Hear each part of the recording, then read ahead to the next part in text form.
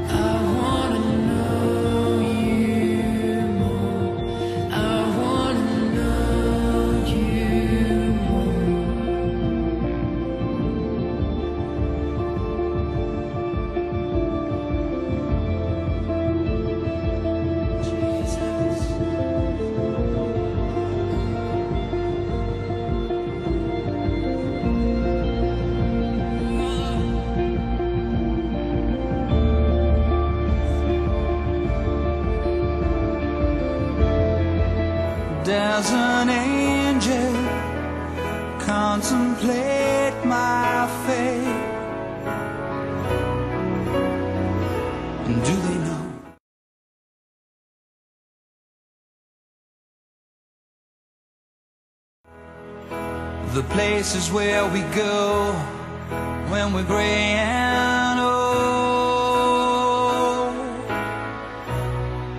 Cause I have been told that salvation lets their wings unfold. So when I'm lying in my bed, thoughts running through my head, and I feel that love is dead. I'm loving angels instead, and through it, oh, she offers me protection,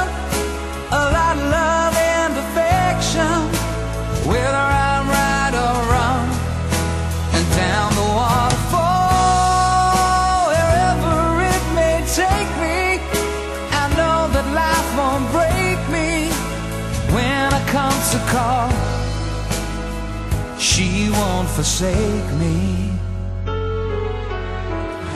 I'm loving angels instead.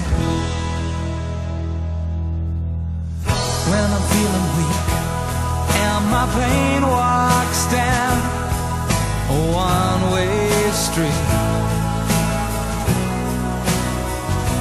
I look above and I know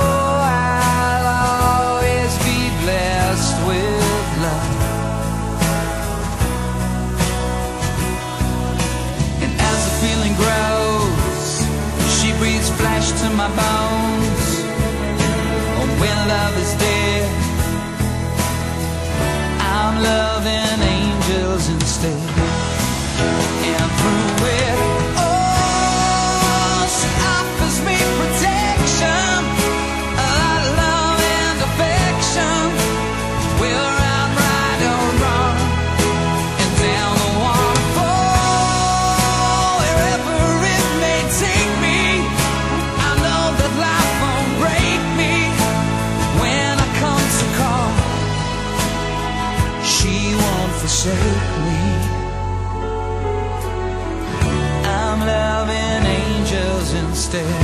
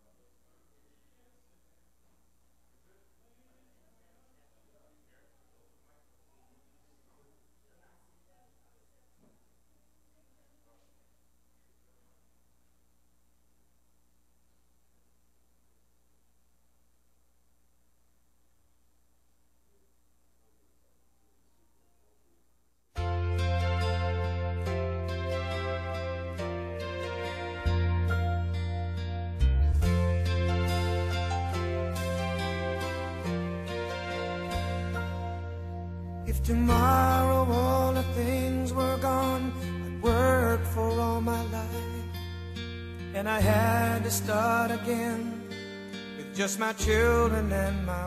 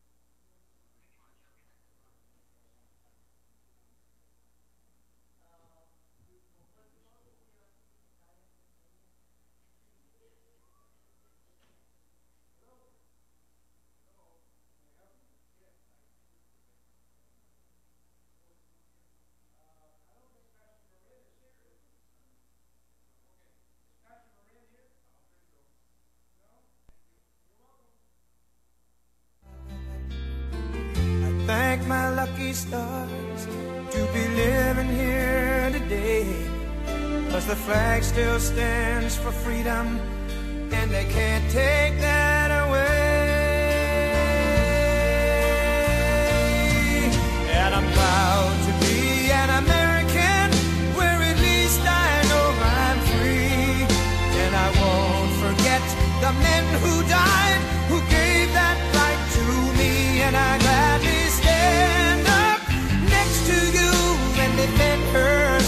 today.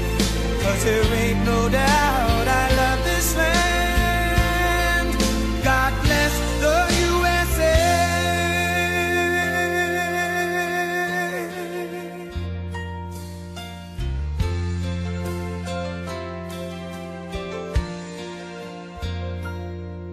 From the lakes of Minnesota to the hills of Tennessee, across the plains of Texas, from sea to shining sea, from Detroit down to Houston and New York to LA, where there's pride in every American heart, and it's time we stand and say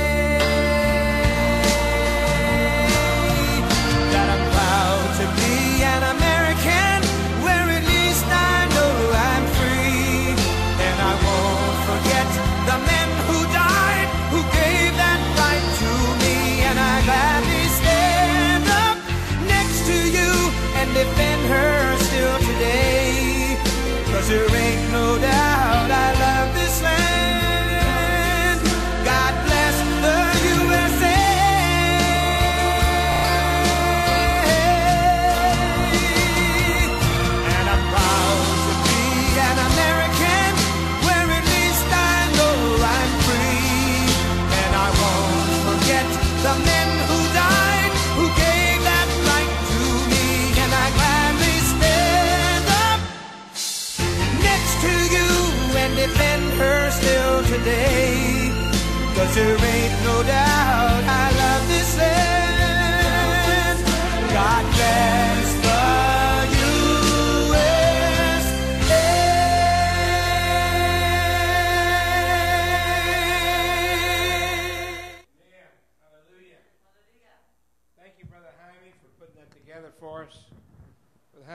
great job in putting a lot of these things together. As many of you know, we've uh, gone to two hours of broadcast every day now. Jaime does the first hour, that is inspirational, instructional, and uh, all of those kind of things for one hour. And then when that's over, I come on live at 9. And then he does the same thing at 4 o'clock. And then I come on live at 5. And we have callers call in and pray with us and pray for us.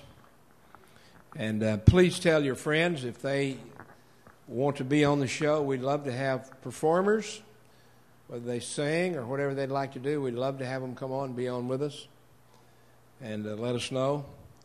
Just see me or Jaime. We'll be glad to book them and get them to come on. And uh, we want you to continue to pray. We're going to be sharing some things tonight with you in a little bit. But before we do, let me say to our Crusade Radio audience, greeting. Thank you for carrying us on Crusade Radio around the world. They've been doing that now for over 12 years. We started in the year 2000 with Crusade Radio. At that time, there was only two basic internet radio stations up there. One was called Genesis Broadcasting, which is a big, huge thing. And then there was little old us on Crusade Radio. And uh, Genesis Broadcasting is still there. They're even bigger. Crusade Radio is still there and bigger. but uh, we do encourage you to pray for Crusade, pray for us as we work together with Crusade Radio on the radio. And then, of course, we've gone to the Wiley Drake Network on Ustream.tv, and we stream then that hour. We simulcast, as it's called in the business. That means we're broadcasting on radio and television, simulcasting at the simultaneous time. And so uh, God's used it, and we praise God for that. We want to say a greeting to Crusade. We want to say a greeting to our Ustream television network audience. God bless you out there, and thank you for joining us tonight at what we call as Baptists the midweek service. Many, many years ago, Baptists felt like uh, Sunday to Sunday was a long time to be out of church. And so Baptists said, we think we ought to have a midweek service. And so we went to a midweek service many, many years ago. And it's one of those traditions that I believe is a God thing. I believe it's been good. Some churches don't have it anymore. That's a sad part in my life when I see that, but uh, I'm glad we still do.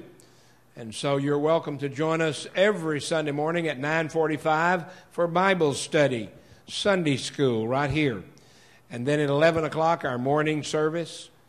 Then at night, we have our 6 o'clock service uh, here at the church. And then on Wednesday night at 7 o'clock. We do greet our audiences, and we want now our congregation to stand, if you would, please, and give a greeting to someone on your left, your right, in front of you, behind you whatever the Lord gives you the freedom to do. Hug a neck, shake a hand, and God bless you. But greet, greet folks. God bless you. And uh, return back to your seat area now, and we're going to do our call to fall.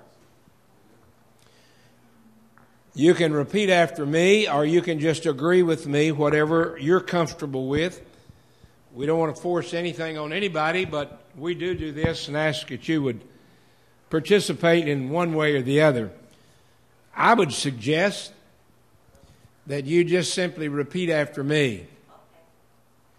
I will answer, God's call to fall, on my knees in humility and seek his face in repentance so that he might forgive my sins and heal our land.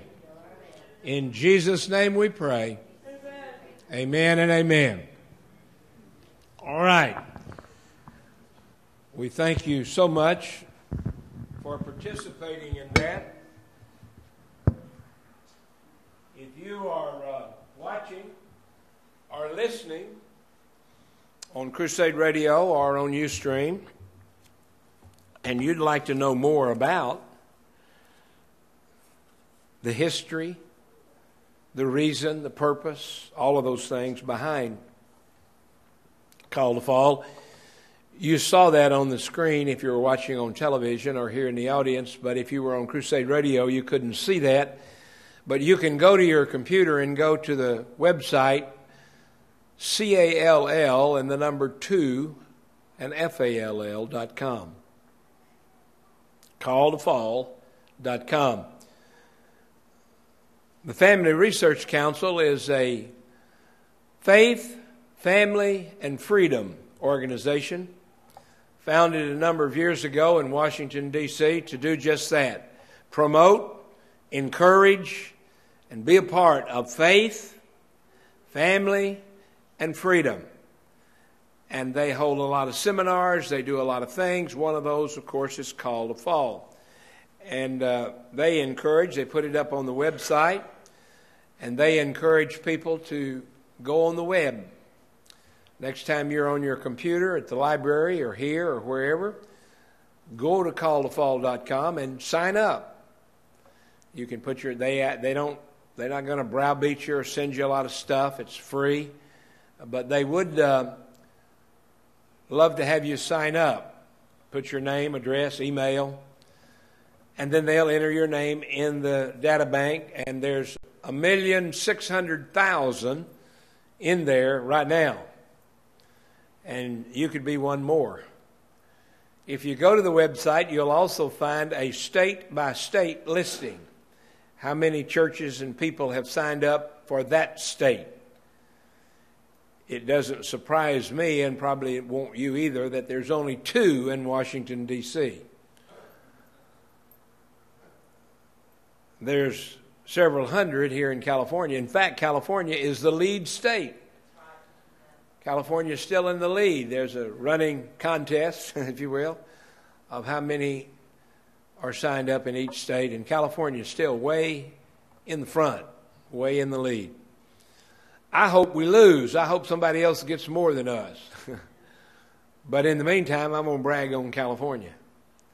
We may be the land of shake and bake and fruits and nuts, but we do believe in prayer. And as California goes, so goes the rest of the nation. Many of you, I'm sure, are happy for another four years. Most of us are not happy. However, when God got up this morning, and I got up this morning, I saw the numbers last night, how it was looking, and so forth. I already knew that even before I saw the numbers. But uh, as a result, when I got up this morning, I turned the TV on, and there was another four years with B. Hussein Obama. I was saddened at that. I'm saddened at that not because he's a black man. I'm saddened at that because he is not a citizen of the United States. We've proven it time and time and time and time again. Absolute, bona fide, certified proof. And nobody believes it. So I'm sad that we have an illegal alien in the White House, and now I'm saddened because it's another four years.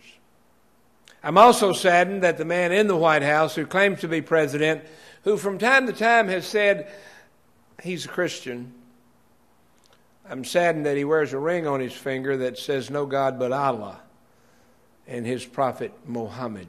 And he's worn that ring for over 30 years. It's the same ring that he used to marry Michelle with. And we have proof of that. It's on video, the Arabic. I don't understand Arabic. I learned a little Hebrew while I was in seminary, but I don't understand Arabic. But those folks that do understand it say you can read the insignia on his ring, and it does indeed say, No God but Allah and his prophet Muhammad. I'm saddened that our country has come to that.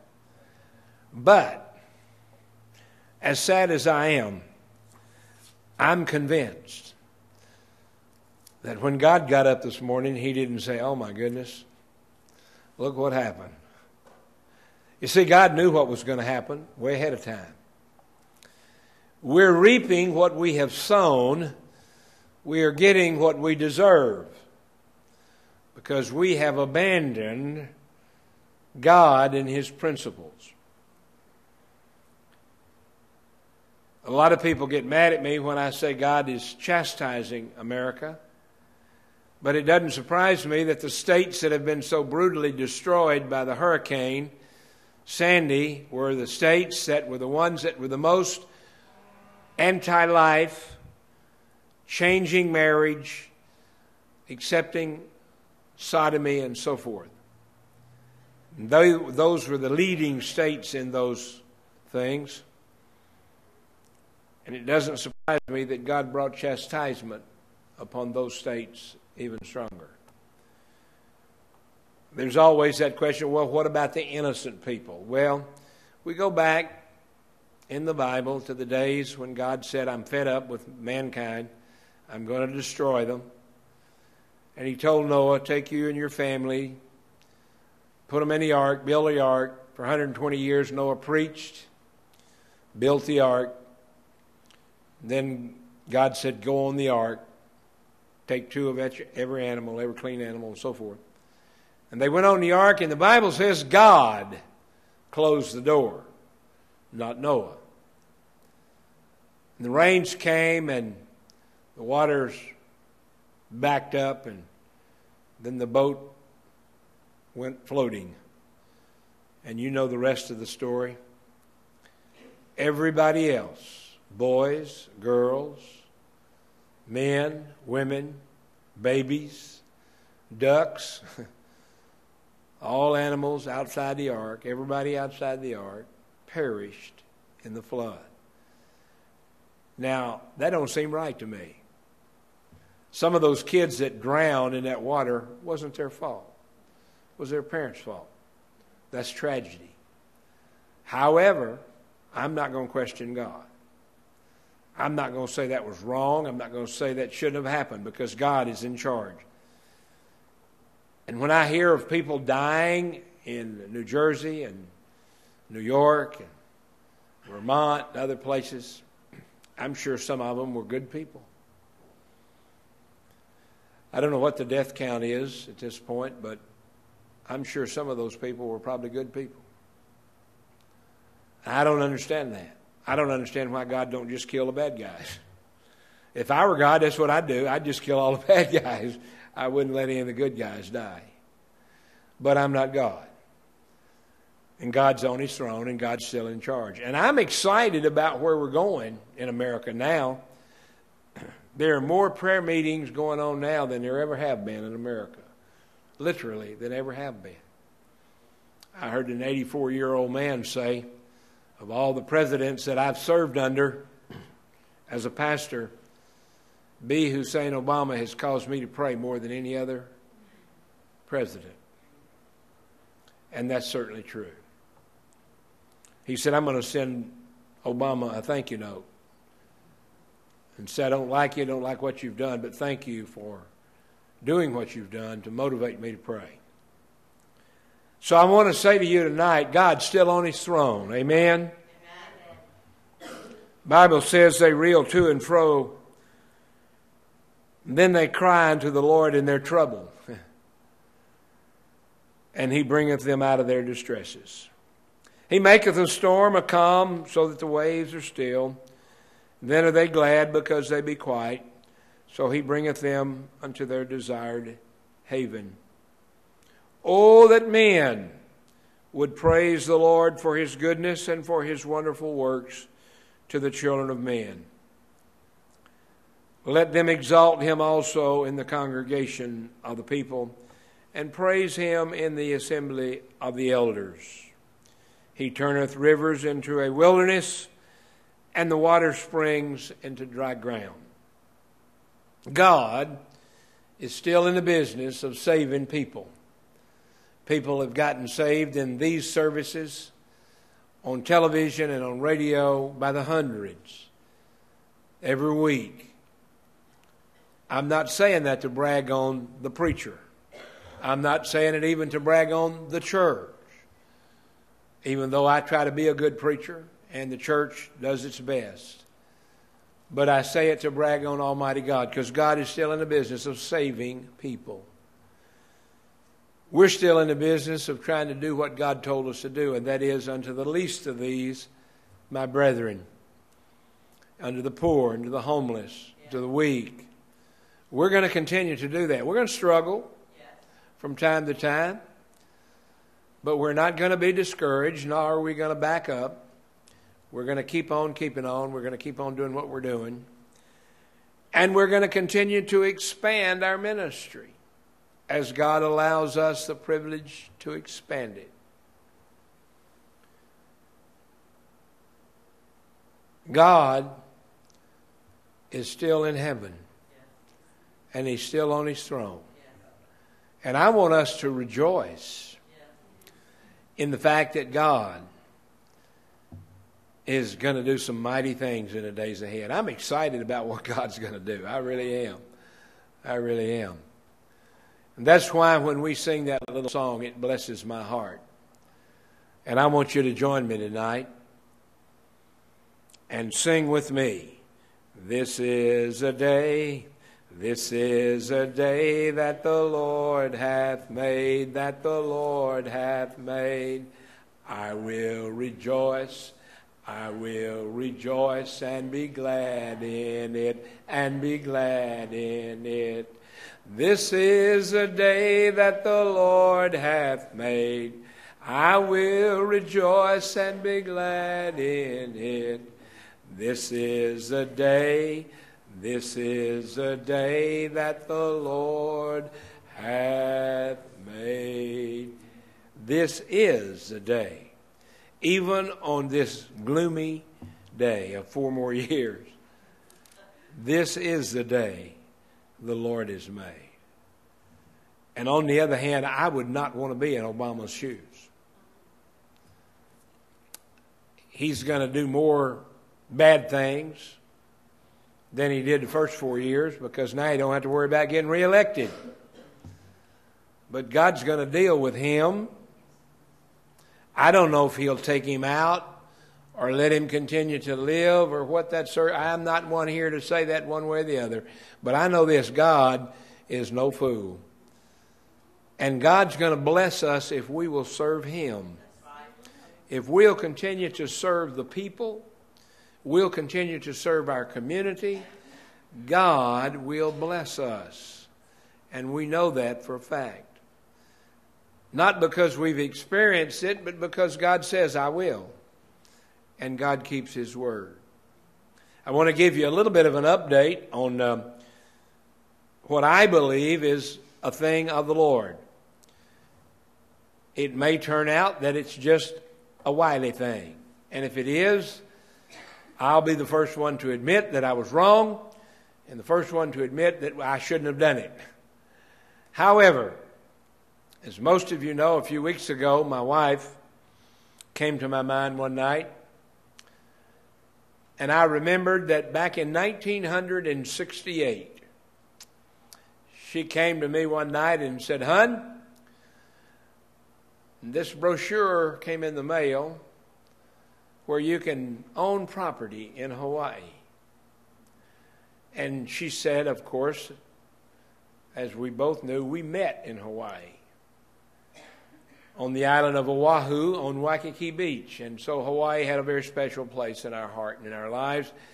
We had been married about six years, and she suggested we purchase that property, and I wasn't too excited about it. I didn't really want property necessarily. But even early in my married life, I had learned that God gives you a wife for help me. And I had always been taught by my family and then taught by the Bible that the man's to be in charge. I still believe that. But down through the years, my wife would bring suggestions to me in a very humble way, Proverbs 31 woman way, and I would follow her lead. And so I followed her lead, and we bought the piece of property. I still have that piece of property. It's on the big island of Hawaii. I've got some pictures of it. It's covered in orchid plants and papaya trees. And um, I have decided that the Lord wants us to at least begin and do what I'm calling an exploratory trip to the big island of Hawaii. Now, I don't know what God's going to do from there, but I am going to do the exploratory trip. God willing, and God provides. I have already sent out emails to about 20 Southern Baptist churches on the island and another 40 or 50 other Baptist, other evangelical, Judeo Christian churches on the island, and I've said to them basically what I'm saying to you here tonight.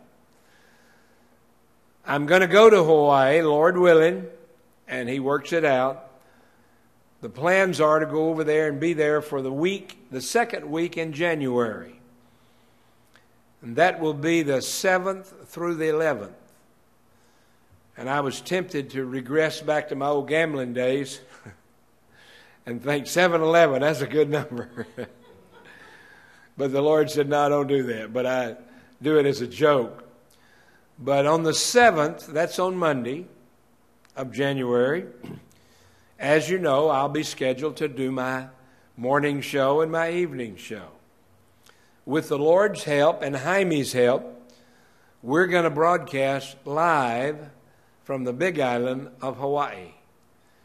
That morning show and that afternoon show. I have told the churches that if they'd like to come and be a part of the broadcast, they're welcome to do so. If they want to invite us to their church, we're willing to go there as well.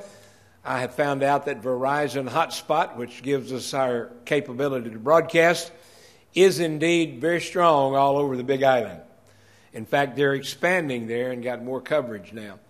And so we're going to go over there for a week, if the Lord wills and if the Lord provides.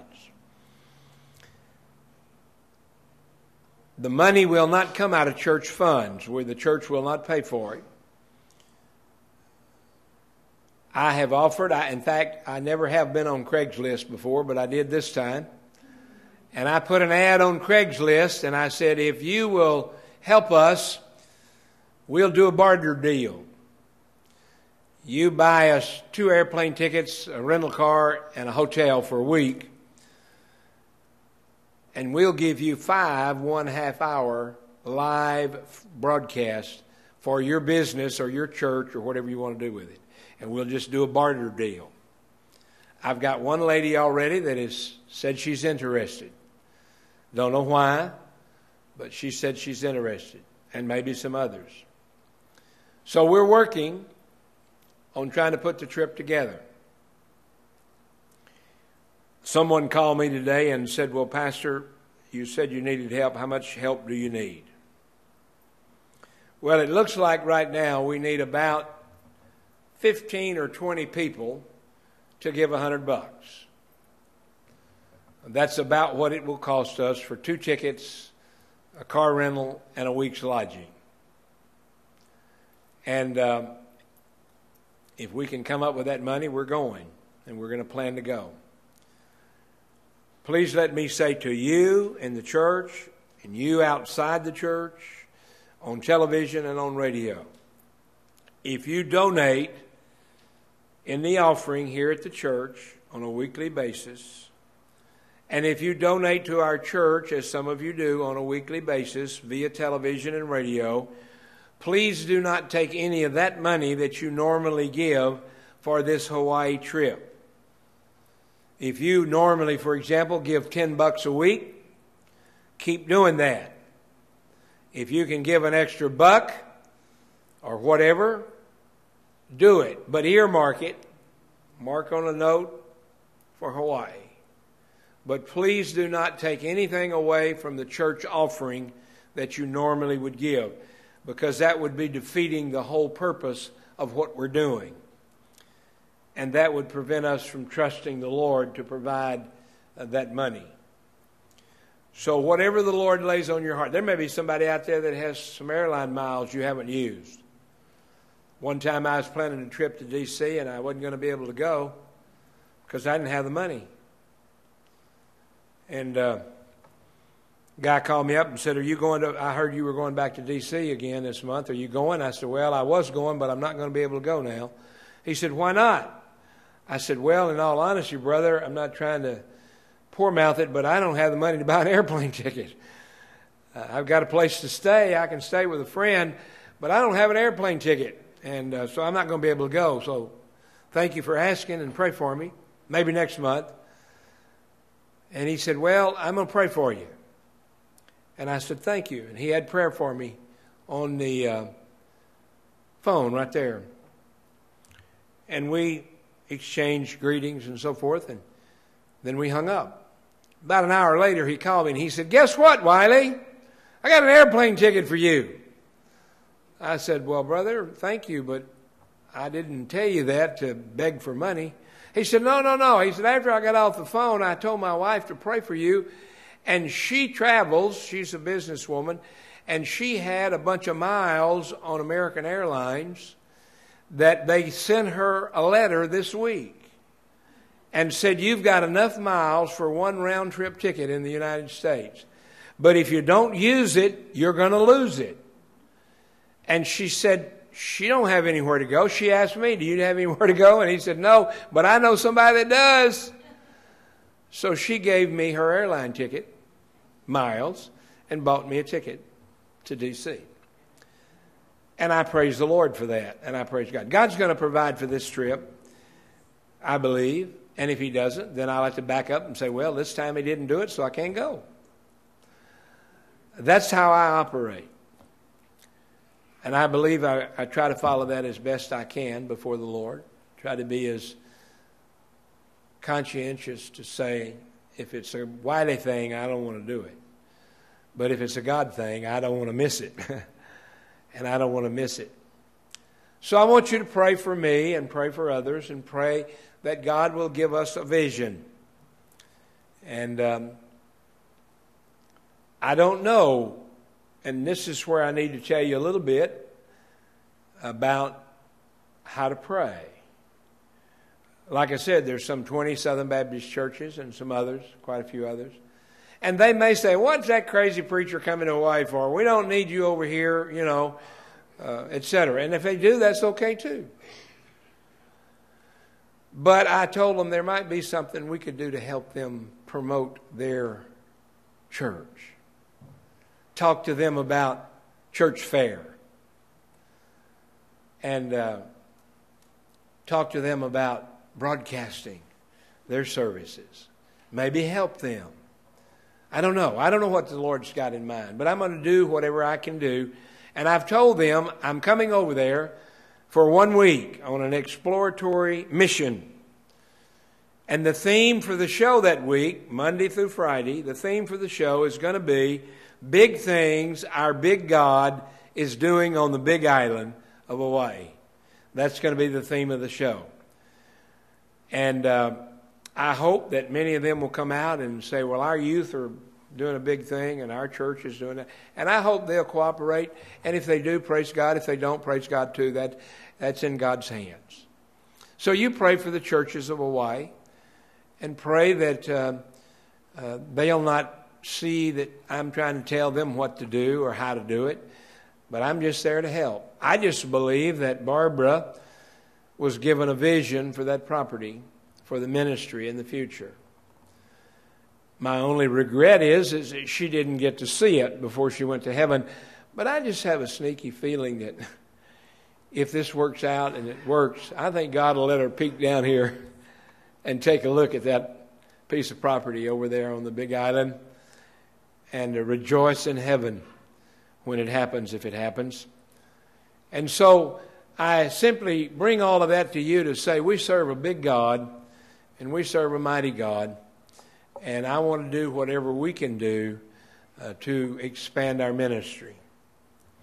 One of the other thoughts that I had, and I've even talked to a, a company over there that they've got a trailer.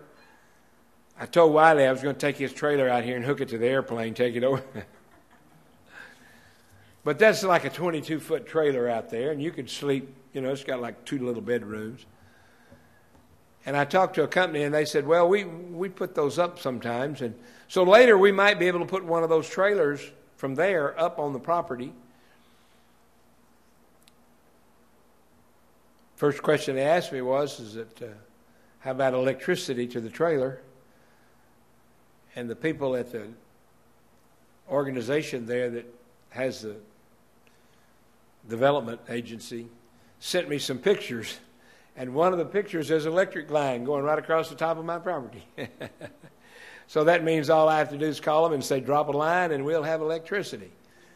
And uh, or send Jaime up a tree, you know.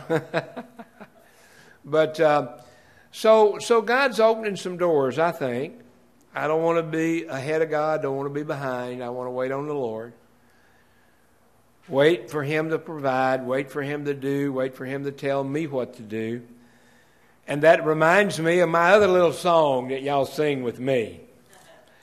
Because I want to wait on the Lord. I don't want to get ahead of him, nor do I want to be behind.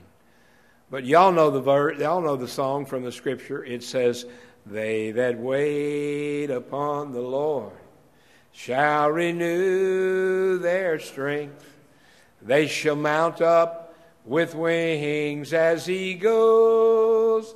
They shall run and not be weary.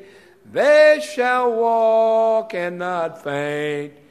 Teach me, Lord, teach me, Lord, to wait.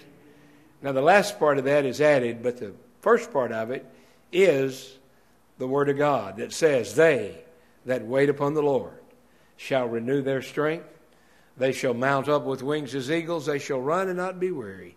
They shall walk and not faint. That's exactly what the Word of God says. But before it says that, it said, Men will fail because they get tired. And it goes on to say, even the young men. Now, you know, young men think, oh, I don't ever get tired. Uh, it says in the scripture, even the young men will trip and fall. Even the young men will get weak and run out of energy. And then it says, But they that wait upon the Lord shall renew their strength. They that wait on the Lord. I'm not sure I understand. I've studied that scripture word for word, verse for verse, many times. And I'm not sure I fully understand all that it means. I understand some of it. I understand that there are times when we want to do something and we have to say, okay, Lord, I, am going to wait for your signal. And I don't want to put too much credence or credence in signs and wonders and all those kind of things. I'm not talking about that necessarily. But I just think God will keep His word. God says, if you'll seek me, you'll find me. God says, if you will wait on me, I will speak to you.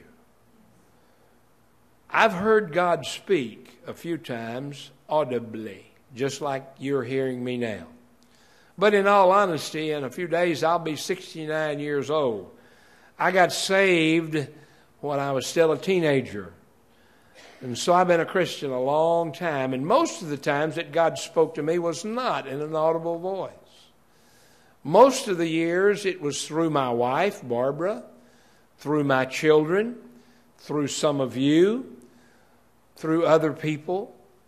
I would say, Lord, I need to know what to do. I need to know which way to turn. I need to know this. I need to know that. And I'm going to wait until I hear from you, God.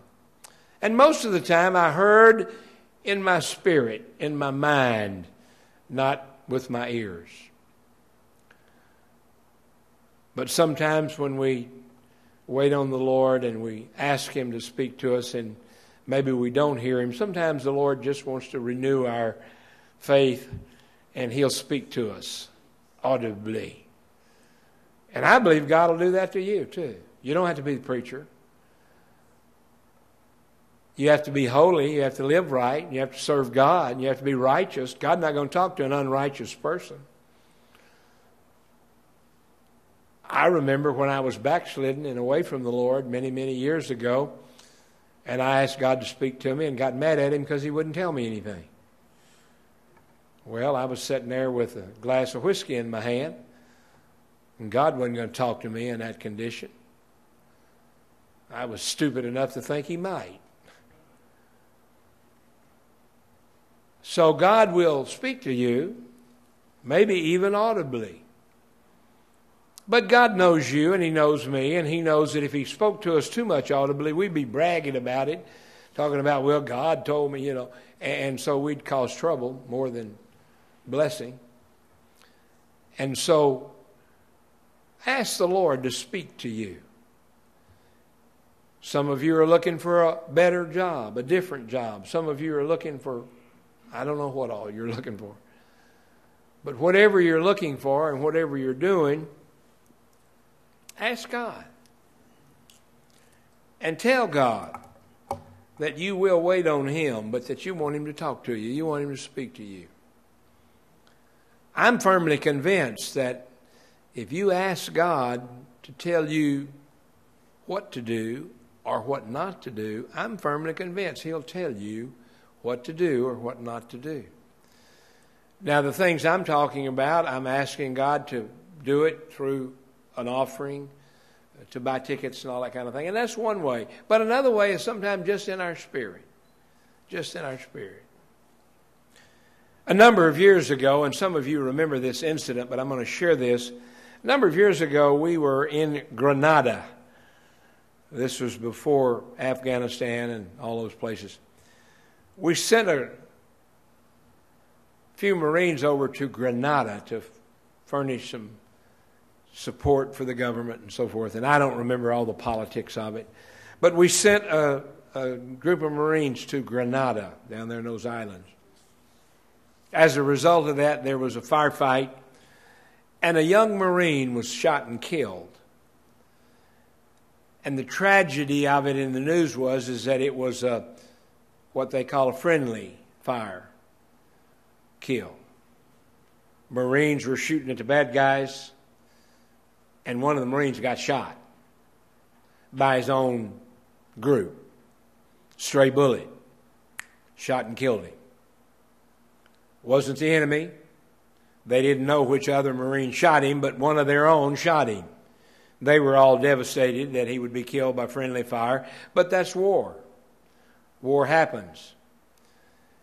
Anyway, to make a long story short, we saw that in the news and we were watching it. And I noticed that the young man was from Buena Park, California. And so I shared with our folk to pray for the family, shared with our folk that they should please pray for the family, that this young boy was going to be brought home, his body was going to be brought home, and they would have to do a burial here and so forth. And so I just shared it on Sunday morning with our people. And uh, at that time, I was in the news media a lot. I was on news almost every day. And uh, I had been criticized, and some of it was right criticism because I sort of enjoyed being in the media and took advantage of it a little bit. But then I had to wait on the Lord and back away from some things, and I did, and God taught me through all of that. And during this time when this was in the news, my reaction was, hey, I should get on this. He's from Buena Park. Man, I'll get in the news, you know, and uh, I should do it. And the Lord said, no, don't do that. Don't do that. That wouldn't be wise. So I said, okay, Lord, as much as I want to, I'm not going to. And so I didn't do anything. I just went about my daily business. And I got a call from the local mortician that said, Pastor, I, I think there's a family in town you ought to go see. And he said, It's the family of the boy who was killed in Grenada. And he said, I've been watching it on the news, and I don't know anything about what the arrangements are or anything, but Joe Clockgather is a very kind, godly man, even though he's a cold handed mortician. But uh, he just said, I, I just feel led, Lord, the Lord led me to tell you, Wiley, to, to, to go talk to that family. And I said, Well, Joe, thank you for that. I appreciate that, but I don't think I feel led to do that. He said, Well, why not? And I explained to him that people would accuse me of wanting to be in the media and so forth. And so he said, Oh, Wiley, don't worry about what people are going to say. Do what the Lord tells you to do. And I promised Joe that I would pray and say, Lord, what do you want me to do? And in my heart and in my mind, it appeared to me that the Lord said, Don't do anything. And I said, Okay, I'm not going to do anything. If they want a preacher, they want help, they can call me. I ain't calling them. A couple of days went by, and one morning I was leaving the church. And as I drove out of the driveway, the Lord laid it on my heart. You know, you've been a little cold. You, you need to check with that family. You need to go visit that family. And I said, Lord, I don't even know where they live. He said, Well, you're smart. You can find out. So I went back and got on the computer and found out where he lived, where their family lived. And they lived over in Buena Park here, not too far away. At that time, I had a deacon in this church that was lived just down the street from where this young boy lived, where his parents lived. And uh, I called him and asked him about it, and he said, "Yeah." He said, uh, "It would be a good visit to visit in that home because it's a split home. Mom and Daddy are divorced, and Mom was remarried. It's it's a real bad situation." And I said, I, "That's the last thing I need to get involved in." And um, so I decided for several days not to do anything. And backing out of the driveway here one day, the Lord told me, Go visit that family. So I said, Lord, are you sure? They're going to accuse me of getting in the media. They're going to accuse me of jumping on the bandwagon. Because by that time it was all in the news. His body's going to be flown back and he's going to come to Buena Park. And it was all in the news. The Lord said, Go visit the family. And I said, Okay, Lord. So I drove over to the neighborhood where they lived, and I pulled up in the driveway, and the father, young man himself, came out. Said, I hope you're a preacher. I said, Well, as a matter of fact, I am. He said, Oh, thank the Lord. Thank the Lord. He said, You just look like a preacher. And I said, Well, that's a compliment, I guess. and he said, uh, I'm sorry, my name, and he introduced himself. And I said, I believe you're the father of the young man that was killed, right? He said, Yes, I am. And he said, I just got a call from the State Department. I don't know what to do. So they called me and told me that my son's body is going to land in LAX this afternoon. And I got to go get the body. I got to make arrangements. What do I do? Never had anything like this, never done anything like this. I said, Well, in all honesty, me neither. I've done funerals, but I've never, I've never done a military kind of situation. I said, But I know somebody that probably can help us. So I called Joe. Joe said, Yeah, no problem. We'll take the hearse, me and you and him. We'll go over there. We'll pick up the body and bring it back to the mortuary. I'll embalm the body, and you can take care of the services and take care of it. And the father was so appreciative. He was so thankful. Thank you so much. I didn't know what I was going to do. I don't have much money, and I was going to have to hire a limousine, you know, somebody to haul the body. I couldn't haul a body in the back of my pickup, you know. and, and he said, so I didn't know what to do. And boy, he said, I sure am thankful to God that he sent you over here. So I said, thank you, Lord that I had enough sense to listen. And so we did the funeral, and I was accused of getting on a bandwagon because the day we had the funeral, this place was absolutely wall to wall people. And there were more outside than there were inside. Satellite trucks all around. Everybody was here. Big, huge funeral. And we had this young man's funeral. And then we transported him out to the military cemetery out in Riverside. It was hot and a long procession out there. Went out there to the cemetery for a 21 gun salute for him and buried him at Arlington Cemetery. And I had the privilege to tell people. After I'd talked to the dad, the dad told me that on one of his leaves he came home. And when he came home, he said, Daddy, what are we? My chaplain said I ought to have a church. And his daddy said, Well, I think we're Baptists. We don't ever go to church, but I think that's what we are. I think we're Baptists. And so that young boy came here to this church. He didn't come in uniform, so I didn't know who he was. And the dad told me later, I asked the dad, I said, Do you know whether or not he was a Christian? Because I don't want to lie to people. I don't want to get up there and say, Oh, yeah, he's in heaven. And, you know, nor do I want to say, No, he's in hell. I, I just want to know how to deal with it. So the dad said, Oh, yeah, he was Christian. Said, In fact, the matter is, preacher, he got saved in your church. And I said, When?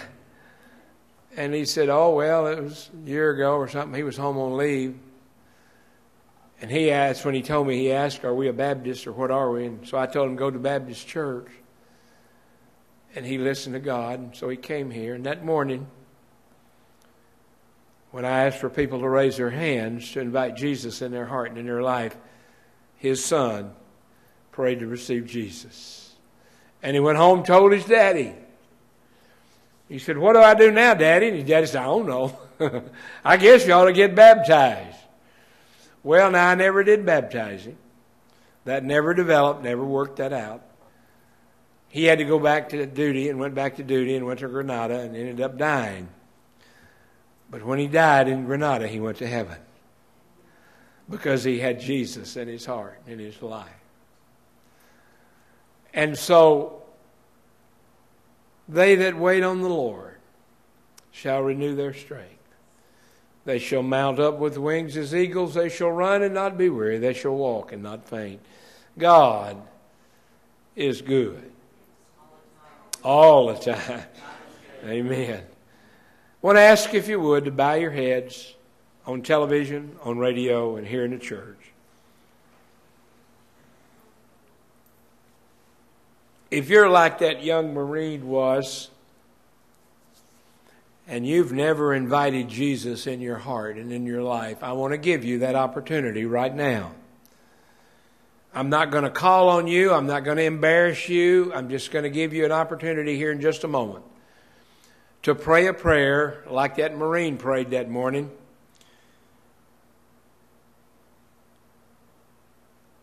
And I told him, here's how you pray. You pray three things. Number one, you say, I know that Jesus is God. And I know that I can't save myself. I can't do enough good to go to heaven. But I want to ask Jesus to come into my heart and into my life. And that young boy on that day prayed that prayer with me. I didn't know it at the time. In those days, we were running probably 250, 300 people here in church. And so I didn't know that he raised his hand. I didn't know that he prayed that prayer, but I do now. And he got saved that day. And he's in heaven now looking down saying, Boy, sure I sure am glad I went to that Baptist church. I hope you're glad you're in this Baptist church tonight. And if you've never prayed that prayer, I want to lead you in that prayer right now. Right where you're seated, right where you're watching on television, right where you're listening on the radio, I want you to pray a prayer, something like this. I want you to say, I know that Jesus is God. And I know that there's not anything I can do to earn my way to heaven. And I ask you, Lord Jesus, come into my heart and into my life tonight. Now I'm going to I'm not going to ask anybody to raise their hand tonight. I just feel led not to do that.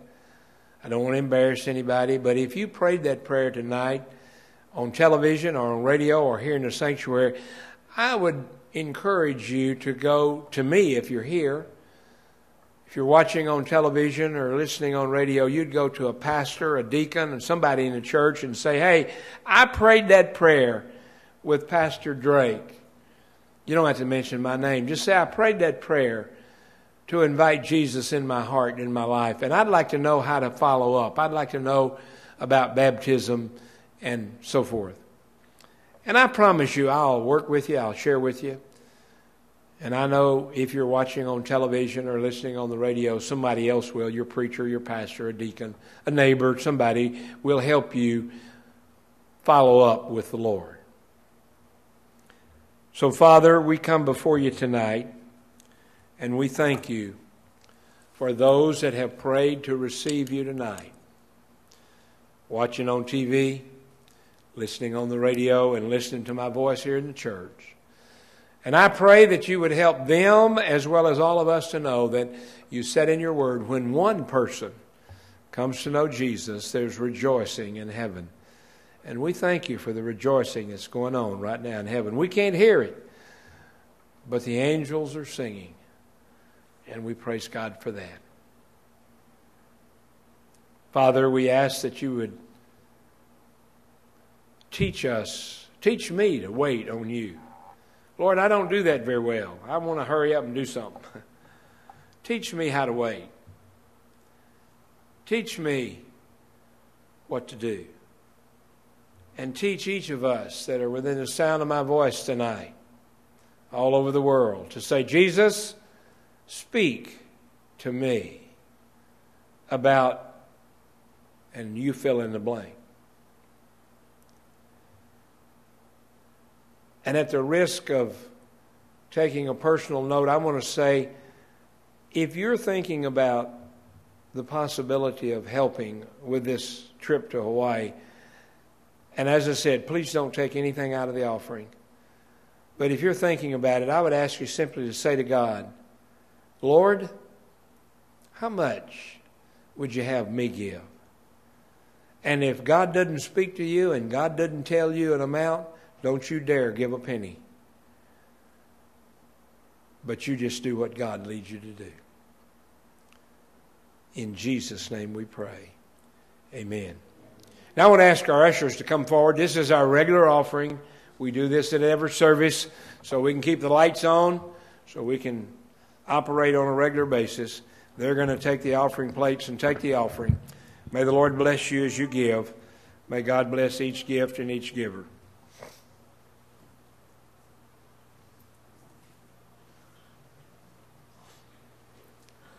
As they are taking the offering and you're giving, let me ask you all to continue to give not only your money, but your cooperation, please. And by cooperation, I mean help out in the kitchen when you can. Stick around even though you know you want to go somewhere else. But give to the church not only your money, but your cooperation. And give thanks personally. Don't do it in front of somebody else, but privately go to a person. You know who I'm talking about. Go to a person here and say, Thank you for what you do for this church. I know a lot of you, I could do that, and I probably will. But go to somebody privately and say, Thank you for what you do for this church and for the Lord. And I promise you, God will bless you for it. Let's stand together. Yeah, Brenda, you have a word? Um, oh, yeah, th- thank you, thank you. Monday the 12th, we're going to have a, sp- well, in fact, sit back down a minute, guy. Uh-huh. sit back down. Brenda held, held us over. Well, we got two minutes anyway. Many of you know that 12 years ago we entered into a project, talk about wait on the Lord. There was a veterans memorial out in the Mojave Desert. 65 years ago, some men put a cross up on that veterans memorial to honor those that lost their lives in war. And that cross stood there for 50 some odd years. The ACLU, the atheist bunch, and an atheist brought a suit against the Memorial Association out there, and the court said, You got to take that cross down. And so they had to take it down. We got involved, other people got involved, uh, Liberty uh, Legal Group got involved. We went to court, we prayed about it, we went to Mojave, we prayed, we, we did everything we could. We went through the courts, and we lost. And then we fought again. We kept fighting. We said, We're going to wait on the Lord. The Lord's going to give us this victory. So, about two and a half years ago, the Lord gave us a victory.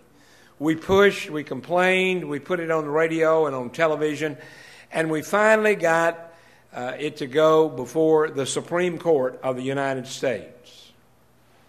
And it went to the Supreme Court, and the Supreme Court ruled that if you will transfer the property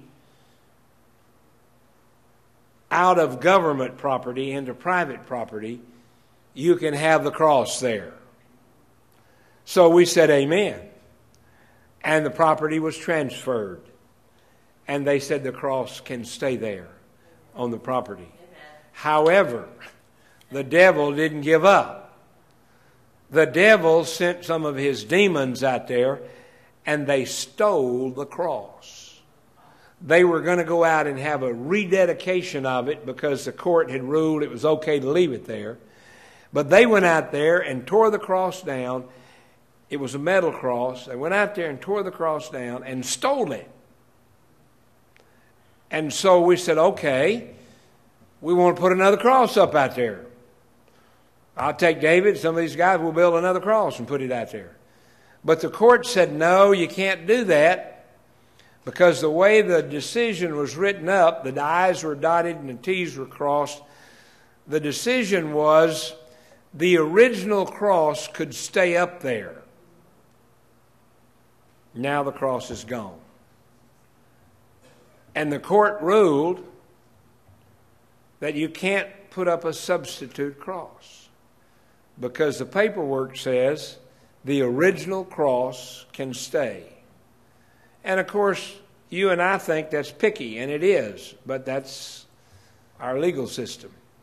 So for two years, we've been fighting. We've been to court, we've been fighting, et cetera, et cetera. Please let us put another cross up there.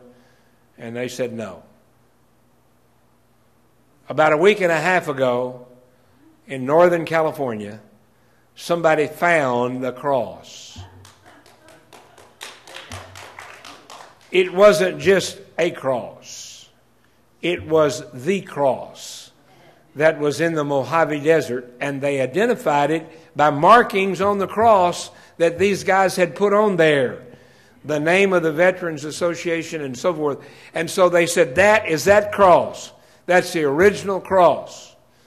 And so, on Sunday morning at 11 o'clock, when we're worshiping here, I'm not leaving, I'm going to be here, but we're going to open a prayer line between here and Mojave, and our buddy Bobby Bible, a veteran, is going to be out there, and he's going to call in on the cell phone, and we're going to celebrate with them putting the cross back up on the mountain over there in the Mojave Desert. That's at 11 o'clock. And then at 1 o'clock, they're going to have a dedication. So, um, at 11 o'clock, we'll get the phone call from Bobby here in the service. And I'm not sure exactly what all we'll do, but we'll do something during the 11 o'clock service. And then our service is over at 12, and then the, the uh, dedication is at 1 we're going to join them again with a dedication from our cross. We're going to use the Barbara Drake Memorial Prayer Cross to dedicate the cross in the Mojave Desert. And we're going to link those together by telephone. And so at 11 o'clock, obviously, be in church. At 1 o'clock, be at the cross. And we will have on the telephone line if everything works and you pray that everything works, you pray that the phone line work. Bobby's, I told Bobby, get a new bat, get a second battery, so if your battery dies. And anyway, 11 o'clock, uh, putting up the cross, 1 o'clock, dedication. So be here at 11, be at the cross at 1. We won't interrupt our Hispanics. They want to come join us, they can, but we're going to be out there. We won't be in here, we'll be out there. And so that's 11 o'clock and 1 o'clock on Sunday.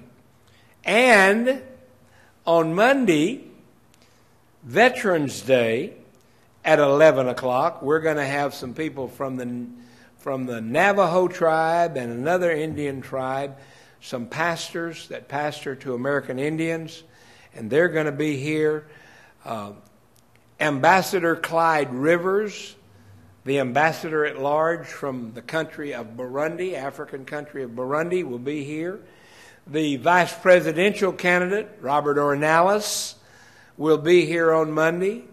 And at 11 o'clock, they have told me I got to be here because they're going to present something to me. I've already got my Medal of Valor, so I know it's not that. But they said they're going to make a presentation to me and somebody else and so there'll be a presentation made here at 11 o'clock on Monday. And I encourage you to come back. The campus will be open all day Monday. You don't have to leave. You can stick around, stay here, get up, lay around, whatever you want to do. But Monday, the campus will be open in honor of our veterans. And we will be honoring our veterans. We will be giving Warriors medal. How many veterans we got here tonight?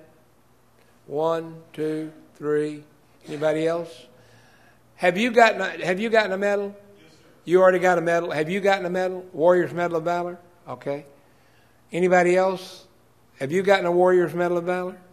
Okay, well, we're going to present Warriors Medal of Valor to the veterans on Monday. So be here. Okay? If you already got one, you don't get another one. You can wear your medal on that day. I, I, in fact, I, I'll be wearing mine. I received mine in 2004 when I was in Washington, D.C. And my timekeeper tells me our time is gone and we're going over, and that's okay. God pays the bills. Stand up. Let's have our prayer of dismissal. And I'm going to ask my cohort, my helper, my brother in Christ, our security chief, our Bible study teacher, our plumber, our cross builder, our mechanic, Will Ruffin, to dismiss us in prayer, please.